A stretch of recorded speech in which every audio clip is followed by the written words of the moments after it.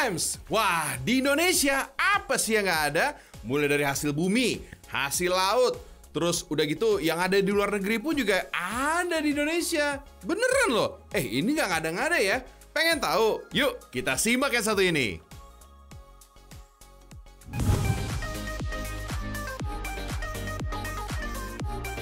Kenalin nih fams, Torakur alias tomat rasa kurma. Asalnya dari Kabupaten Semarang, Jawa Tengah.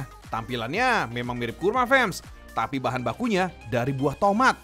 Tomat ini punya sejumlah manfaat loh fams. Kandungan antioksidan dan folat bisa memperbaiki sistem pencernaan sampai menghilangkan stres.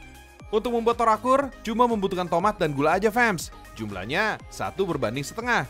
Sebelumnya, buang bagian biji buah tomat, kemudian rendam dalam air kapur sampai meresap. Katanya, buah tomat ini sangat cocok sama air dan suhu yang panas.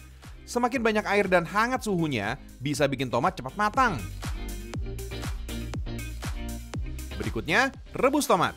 Kandungan likopen pada tomat jadi meningkat setelah direbus. Meningkatnya kandungan likopen bisa sebagai anti kanker fams.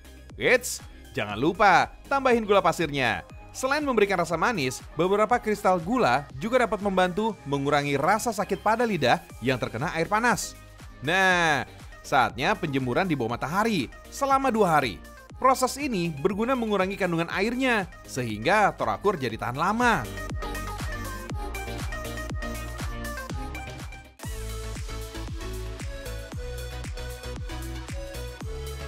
Selain di Semarang, di Garut Jawa Barat, ada juga nih tomat yang mirip kurma nih fams. Namanya kurma mekarjaya.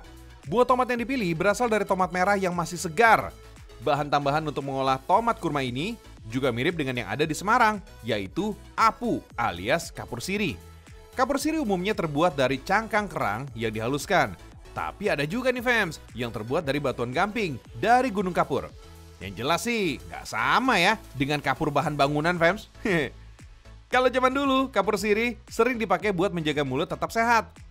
Dalam dunia kuliner, kapur siri juga bisa bikin gorengan jadi makin renyah. Sementara kalau aneka buah, koktail, atau manisan yang direndam air kapur siri, jadi nggak mudah hancur dan terasa lebih kesat saat dimakan. Setelah proses perendaman, tekstur luarnya jadi tetap renyah, tapi biji bagian dalamnya jadi mudah terpisah. Oh iya, Fems, Alasan dinamakan Korma Mekarjaya karena asalnya dari desa Mekarjaya di Kabupaten Garut, Jawa Barat. Sejak sekitar tahun 2011 lalu, ibu-ibu PKK Desa Mekarjaya mulai berinovasi dengan buah tomat yang melimpah. Harga jual tomat yang tadinya murah jadi punya nilai lebih setelah diolah jadi korma. Tapi harga tomat korma per kilonya juga terjangkau kok.